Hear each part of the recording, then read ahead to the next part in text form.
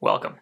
Today we're going to take a look at developing an idea in Obsidian using the Longform plugin, using uh, DevonThink, using the Graph Analysis plugin, uh, using Kanban, a bunch of different tools that I'm kind of working with to develop a new writing workflow in Obsidian because uh, Scrivener just isn't there. And many thanks today to Shortform for sponsoring this video. We're going to talk about how I've used them to narrow down my research choices a little bit later in the video, and there'll be a link for discounts on that buckle up. Let's start digging into developing ideas in Obsidian with you know all the different tools I'm going to use.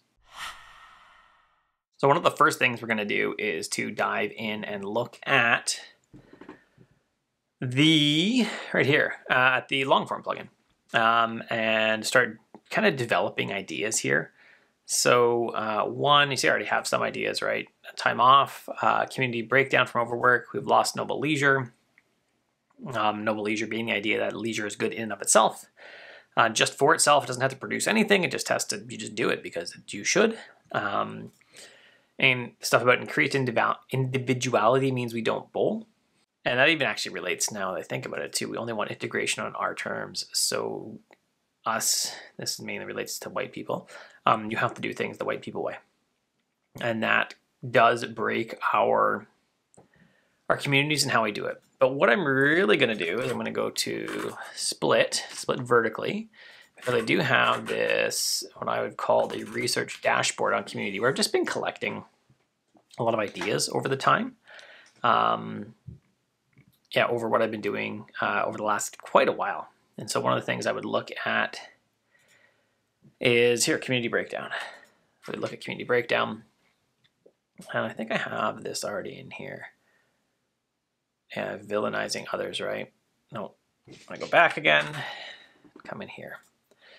Villainizing others breaks community, and I've linked to this note already. Based on community breakdown uh, and tribalism, makes it easy for to see people as other, as not us, if they don't share our beliefs in exactly the way we do things. That actually even relates now that I'm thinking about it again to affirmation bias and this confirmation bias, which are uh, confirmation bias is when we we give more weight to things that confirm um, our beliefs, and disconfirmation bias is when we uh, like look for things that kind of basically it's all about backing ourselves up. Um, confirmation bias and disconfirmation bias. So I need to look into both of those long term to see just to see how they relate here and how I would bring them into this idea maybe or maybe into another idea. Uh, I just created a task there so that I can find it later, um, so I know that there are things to do in here. I've also linked to a current book I'm reading.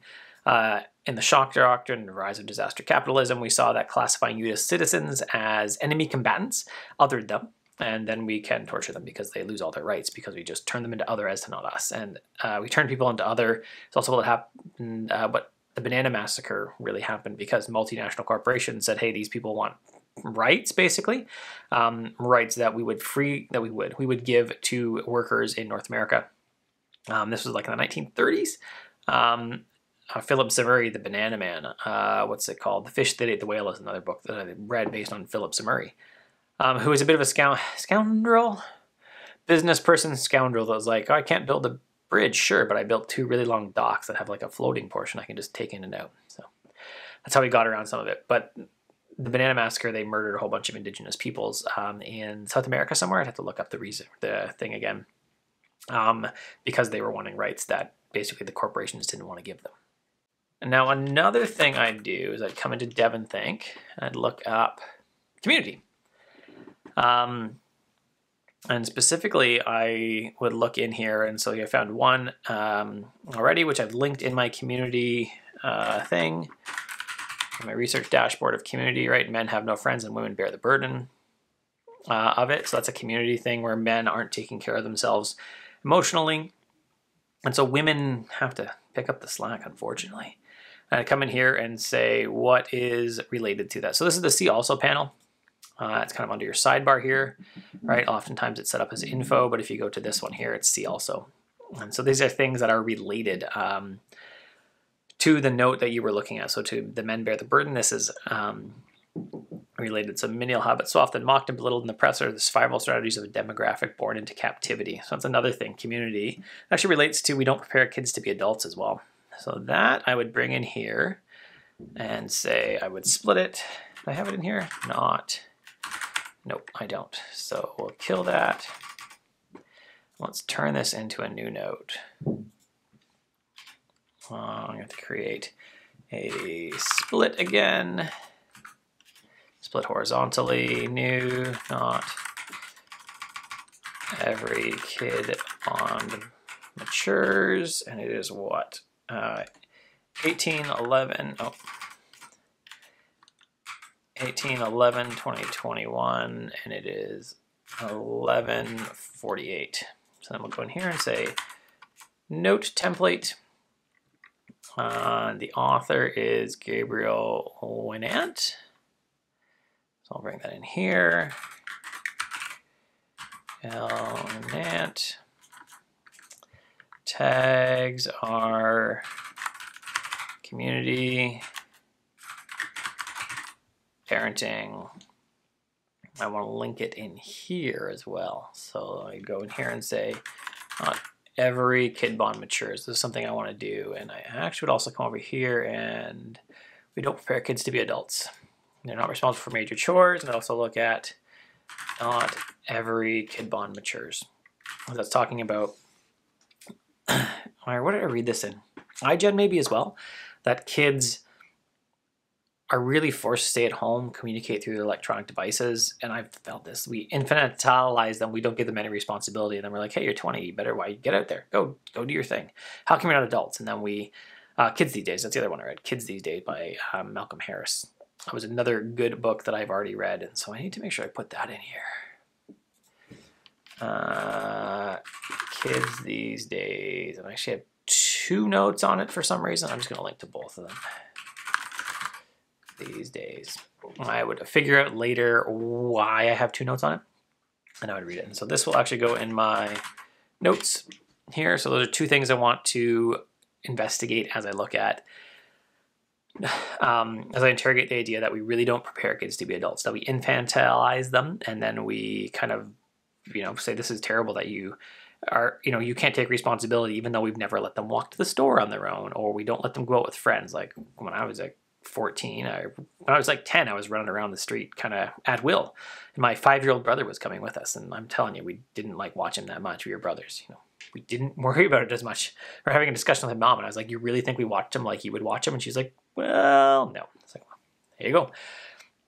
So that's something I actually try to combat in my parenting is try to get away from infantilizing my children, giving my 10 year old the opportunity to walk to the bookstore a block away, stuff like that when she wants.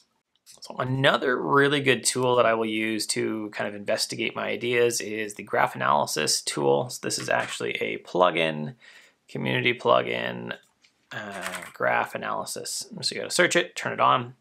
What it does is very similar to the See Also panel in DevonThink. It actually comes in here and brings me just things that are interesting, things that it thinks relates, right? Time, work, discipline, industrial capitalism. Competition is Killing Us. That's another probably good book in here that I want to do. So is that already in here?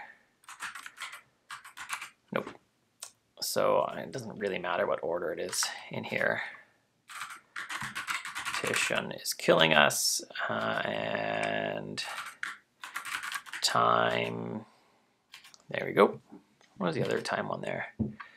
Hard time? Nope. Probably not. But penitentiary. And so I would again go through here and start looking for things that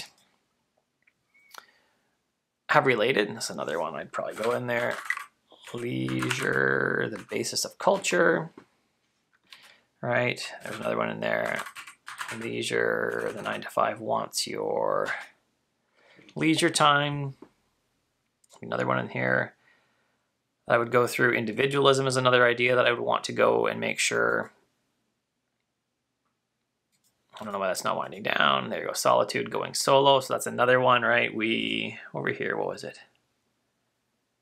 Increased individuality. So that might even go in here. There's one thing I wish I could pin this to tie into this one note over here because I just lost it right here. Solitude. Uh, going solo, solitude, time off. There you go. So I've actually already read time off. There'll be a link to that review above because it comes out already. So I'd come in here and I'll probably just say I also want to look at going solo in here. Going solo. Uh, and solitude, the pursuit of a singular life in a crowded world. Those are probably going to be I wonder in part different. I know, I think it was in, uh, was in 4,000 Weeks or in Time Off, it talked about having complete ownership of your time isn't necessarily great because it's the times that we give our time to other people that really make life worthwhile. I think of the time I spend coaching cross country across the street as being like a really good um, thing that helps me have value in my time. Even seeing these, you know, these kids uh, in the grade school telling you about some run they did around the block, and like they're so excited about it, and that feels like huge value to me. Uh, and these are going to be kind of on the other side, like you do way too much. Um, when I've read these types of books before, I've often found that the too much is often like you're doing too much on social media, you're doing too much in these other realms that aren't really building up your community, though. So these are other ideas that I would investigate and interrogate here. Now, another thing I would do would be with Shortform, which is the sponsor of today's video. So Shortform is a site where you can go and get really good book reviews. Um, so something like 12 Rules of Life, which I've already read, and I'm going to go back through it to refresh my idea. And why would I do it for this project specifically? Um, I do it for this project specifically because uh, I remember in that book, Jordan Peterson, it really felt like he gave a lot of excuse to, uh, you know, what is often termed as incel men, involuntarily celibate men, for acting the way they did um, and being jerks to women. But I think that there's a bigger thread to pull on that that I've read in a few books talking about how, like Hillbilly Elegy is another one they have in here, um, where they talked about looking at the loss of meaning and of jobs um, in, America, uh, and, and that one's uh, in the Appalachian South, I believe uh, for Hillbilly Elegy, and they lose that, and so they lose a purpose in life, right? So they purpose and meaning, and we even saw that in uh, A Man's Search for Meaning by Viktor Frankl, losing that purpose to continue to live through a concentration camp, and people just you know slowly wasted away as soon as they had that, or quickly wasted away. So one of the things that I did in here when I was uh, building some of the books here in Shortform is I started looking for uh, like education so that's another one. Ultra learning, a mind for numbers, how to lie with statistics, leading change. So I'd look through here and say like, what in here really um, do I think relates to the community, um, the community aspect that I would want? And I'm not sure that I know anything in he- this one, the Total Money Makeover. So Hillbilly Elegy is one, which I've already starred. Capitalism and Freedom. This is Milton Friedman's book. I'm actually reading one that kind of says it's terrible. Um, called the Shock Doctrine, uh, talking about how they used military coups to push capitalism on South America uh, and how it was bad. But free Milton Friedman, uh, what came to be known as the Chicago Boys uh, in some uh, South American countries, people who were trained, you know, under the same teachings as Milton Friedman. Um, they got to use military coups and violent um, political shock to to do this. So I want to. I've never read that book, so I want to be familiar with it. This one is again Hillbilly Elegy so what I use this for is on a project by project basis. I'd come in again and look for community and look for books that I think will relate to my topic and decide whether like, do I really going to invest in this? Because as you can see over here, I already have a huge list of books, right? Um, Our Kids, The Death and Life of Great American Cities, Strong Towns, I've already read, Walkable City, Electric Cars Aren't the Solution, Nonviolent Communication, and the Anatomy of Peace, 12 Rules for Life. So that's a couple that are in here. Uh, Imagine Communities, Nonviolent Communication, The Anatomy of Peace is another one I'd look at in here.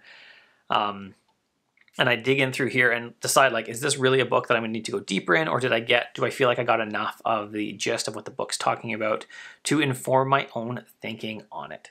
The Shortform is great because in addition to having, you know, the web view right here, it's got pretty good um, apps for your devices. So I can read this in split screen on my iPad, looking at Obsidian, looking at Shortform at the same time, start marking up the books and taking notes on it while I read it. And then later on, I can integrate it into my notes for this bigger project that I'm working on. If you use the link below shortform.com slash Curtis McHale, it's going to support the channel. You're going to get uh, five days free. You're going to get 20% off a yearly plan And yeah, then you just help support the channel. Thanks to Shortform for sponsoring this video. So the next thing I've really done as I look at this is I've actually created a, am um, calling it uh, here in my file menu, WIP community, work in progress community. And so this is, say, a rough Kanban board for chapters, uh, just to see what's up and interrogate the idea. So if I look at this one where we lost community one, you can see I've actually linked in the Longform panel here some of the notes, right? Uh, community breakdown from overwork right here, links to this right here. So this is just to start try and group my bigger notes into something. Um, and maybe I would actually, you know, have the whole chapter in here and render that out as a draft from this view. I know the MacStories crew has some plugins that will actually, um, for Obsidian, that will actually render this out into completed documents for you if you're a member of MacStories, which I am. Now, I'm not sure that overall I really will end up writing the entire document, the entire um, work in Obsidian because I'm not sure that the Longform plugin has all the tools that I need. I think it's got a lot of them. It's got a lot of the initial stuff, but I could still see a day where I look get over to Ulysses and I start really writing the rest of my stuff in Ulysses as I finalize the organization of the document. But I will do all my research in Obsidian. I will do all my pre-writing. I will do all my organization as the scenes in um, Longform and then I will see where we're at from them because the plugin is continuing to be developed and we're starting to see more features as the developer of it is needing more features for their own writing practice. That's really it. Many thanks to Shortform for sponsoring the video. If you use their link below, it'll help me out because they'll say, hey, he's got a channel that people are clicking on. So that's good for me. Good for you because then I get to produce more videos. Uh, if you like the video, thumbs up below. If you loved it, subscribe, hit the bell. YouTube will let you know something happened. If you really want to support the channel, you can become a member by going to curtismchale.ca slash membership where you get a free newsletter and you get, well, you get a paid newsletter and you get some of the courses for free that I've taken. All of them, in fact. Have a good one.